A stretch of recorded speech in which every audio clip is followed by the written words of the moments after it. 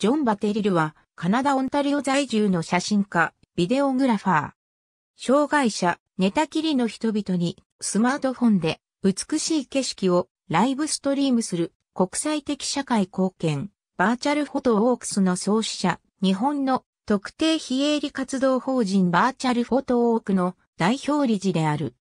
ジョン・バテリル・ジョンと叔父のフレッド・ジョンの祖父母はもともとはスコットランドに住んでいたが、19世紀の終わり頃、他の多くのイギリス人入植者と共にカナダに移り住んだ。ジョンが誕生した1951年頃、ジョンの父はケベックのアルバイダで金属加工技術者としてアルミ製造会社に勤めていた。ジョンは二人兄弟の末っ子で、上には姉がいる。家族が1960年にオンタリオフェネロンフォールズに引っ越してからは、父は高校の数学の教師として働き、母は大学の講師だった。両親は第二次世界大戦中、ナチスに虐待されているユダヤ人の情報を聞き、志願してイギリス軍に加わり、オランダで囚われていたユダヤ人を解放した。しかし、両親はジョンが16歳の時離婚したため、その頃からアルバイトをして生活を支えた。母方の叔父に、元マスターフィーズ社 CEO で農林畜産分野で世界トップクラスであるゲルフ大学元副学長のフレッド・プラサントがおり、世の中については学生時代にこの叔父から学んだと言っている。1957年、ジョンが6歳の時に両親がバルサム湖そばに家を建てて移り住んだ。12歳の時からカヌーを担ぎ、湖面に下ろして漕いでいた。地元リンジー市にあるフェヌロンフォールズセカンダリースクールを卒業後、コンガカレッジでビジュアルコミュニケーションを学び、首席で卒業した。在籍した高校は、父が数学の教員として教鞭をとっていたが生徒に不人気であった。そのため、ジョンはいじめに遭い、それがきっかけで柔術を習うようになった。夏休みにはカヌーで西海岸まで行き来する冒険を完遂。これにより鍛え抜いた上半身と柔術の技により、いじめを撃退したという。この頃、両親の離婚があり、精神的に充実していたとは言えなかったが、トロント大学助教授で、カヌー博物館創立者となったカーク・ウィッパーとの出会いがあり、彼から多くのものを得た。ジョンによれば、カークはどんな隠れた水路も把握していて、そこの現地インディアンとも大変仲が良かったという。そのカークがカヌー博物館を設立する際にはジョンも尽力したため、今でもその使命が館内に刻まれている。ピーターバラのカヌー博物館また、カヌー博物館ホームページのドメインは未だにジョンが所有している。カヌー博物館にある貴重なカヌーの多くは、カーク・ウィッパーが私費で購入、収集したものだった。また、今でも運営されている青少年育成のためのカヌーキャンプ、ケンドラーはカークが創立したもので、カークの葬儀もここで行われた。大学を卒業後はしばらくやりたいことが見つからず、祖父母の故郷のスコットランドやギリシアなどに旅行していた。ギリシャでの滞在は楽しく数年過ごしたが、ある時、ここにいては自分がダメになると思い、カナダに戻り、写真家として働くようになった。居住地がカナダということもあって、写真家としてのキャリアは広大な自然を撮影することからスタートした。そして経歴を重ねるにつれ、世界のホテルを回り、広告用の撮影をするようになった。1978-1995、ジョン・バタールコミュニケーションズ時代1995、360インベインク、時代当時としては、画期的な360度パノラマ撮影により、商業用の写真を提供した。受賞歴、1985年祖父母の故郷、スコットランドの写真で、ニコン写真対象世界旅行カテゴリー。複数の参加者でビデオを共有できる Google に参加していたジョンは、ある日、自分がいつも楽しんでいるカヌーより湖面の景色をストリームしたらどうだろう、と思いついた。カヌーに三脚を立てカメラを装着した後、カメラの周部分にアタッチメントを取り付け、スマートフォンを装着して湖面を進んだ。視聴者は大いに沸き、その後ジョンはその録画映像を投稿した。すると、思いもかけず世界中から写真家が参加。その後、障害や寝たきりで外出がままならない人々へのボランティアサービス、バーチャルフォトウォークスが確立された。コミュニティサービス部門の候補にもなった。この時、Google のフォロワー数は616万700人を記録した。メディアで周知されるとともに、世界中からありとあらゆる冷やかし、ハッキング、オファーが押し寄せた。その多くは、ジョンのメディアによる知名度を利用して自分を売り込もうとするような二流、三流の輩であり、本気で障害者や寝たきりの人のために何かやろうという人は数少なくいたとしても自分の利益にならないことがわかるとすぐ消え去った。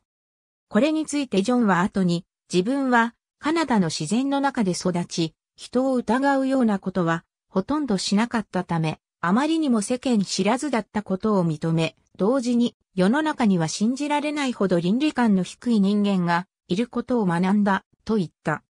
時に最愛の母が認知症となり、夜中にたびたび起こされるほど介護も厳しかった状況にあり、ジョンはテッドから出演依頼が来たにもかかわらず、リハーサルをなくす、などの条件をつけ、それが受け入れられなかったので断った。また、人々の注目が潮目を迎えると、バーチャルフォトウォークスへの支援を約束した人間や、会社がかかとを返すように去っていった。母親が亡くなった頃、約束した支援が保護にされたため、カナダの冬を2回もヒーターなしで暖炉に焚き木をくべて過ごす羽目になり、さらに2016年8月には長年住んだ思い出の家を手放さなければならなかった。しかし、キャンピングカーに住み移りながらもバーチャルフォトウォークスの放映はやめなかった。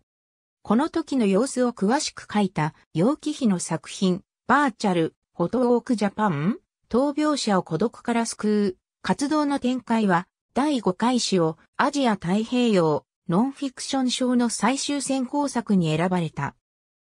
この選評の中で、ノンフィクション作家の後藤正春氏は感想をこのように述べている。バーチャルフォトウォークジャパンは、スマホ時代の新しい試みの一つを描いている。寝たきりの人に、この私的な画像を届け、交流を図る。今、そのような伝達も可能な時代を迎えている。新鮮なレポートとして読んだ。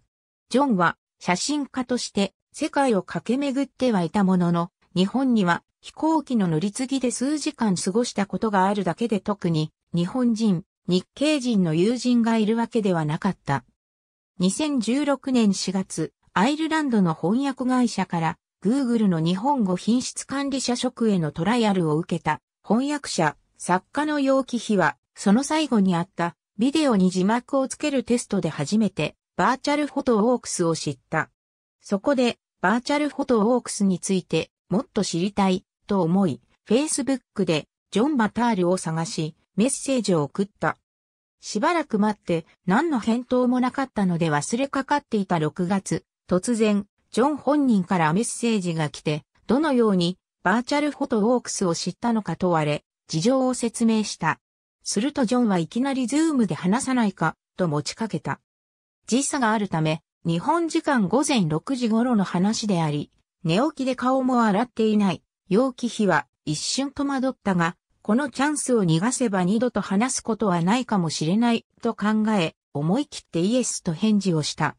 その時在宅のライティングの仕事をしていた、陽気日は自宅パソコンに長時間向かっていたため、幸いにしてズームを介したジョンとの対話に十分な時間が取ることができた。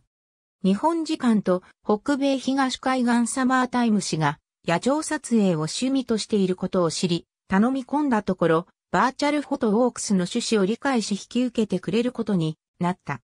当初、陽気費のチャットでの説明では、バーチャルフォトウォークスをよく理解したとは言えなかったが、ジョンと初めて会ったズーム会議ですぐ近所を歩いて新薬師寺を見せるなど、初めから勘の良さを見せた。林がジョンと同じくアップル社の製品を好んで使っていること、また機器操作に長けていたこと、さらには、林が奈良、京都、和歌山など自然や史跡、文化財が豊かな地域に居住、就業していることが幸いし、そのバーチャルフォトウォークスジャパンのイベントは当初から賑わった。林画廊を厭わず価値のあるイベントをボランティアで続ける中で、ジョンは、ヒロシ、僕は君に言葉で言い表せないほど感謝していると述べた。この頃、ジョンは、林の顔写真を本家北米のバーチャルフォトウォークスのカバー写真に追加している。それについて、楊貴妃がまだ付き合いの浅い日本人をカバー写真に入れていいのかと質問したところ、ジョンは本気で自分を支援してくれているのは日本人ばかりだと述べて気に留めなかった。ジョンが急速に親日派になったのについて、林の果たした役割は大きい。バルサム湖の夕暮れを見る、辻井彩音ジョンがオンラインの通訳講座を手伝っていた2016年11月頃、バーチャルフォトウォークスを知った受講生の一人が辻井彩音の写真を見せた。そこには一人の女性が酸素マスクをして寝ている姿に彼女の作成したと思える手芸品があった。ジョンはそれを見て今までいろいろな障害者を見てきているが彼女のように重篤な例は見たことがない。と心を痛めた。彼女は生まれた時からの脳性麻痺患者で当時23歳まで寝たきり動かせるのは片手と目だけで言葉すら話せない状態であった。ジョンは、あやねのための最初のイベントとして、クリスマスプレゼントと称し、現地時間午前7時に、雪のカナダをあやねとその家族にだけ紹介した。それからというものの、あやね、あやねと言い、バーチャルフォトウォークスのイベントがあるたびに、仮に、それが日本時間の深夜であっても招待リンクを送っていた。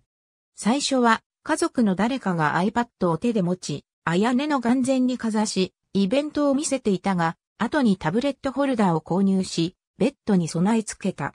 彼女と知り合ってからジョンは、毎年夏、あやねだけのためにカヌーを担ぎ、湖畔に下して夕日が沈む瞬間を見せている。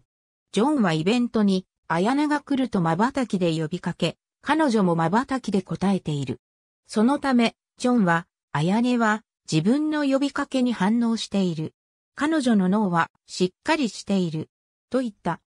現在、彼女はバーチャルフォトウォークスジャパンのアイドル的存在で、イベントでは海外の視聴者にもよく声をかけられている。2019年10月15日、アメリカカリフォルニア州サンノゼで開かれたズーム社主催のズムトピア2019にて作成したビデオあやねちゃんの世界旅行が最優秀賞を獲得した。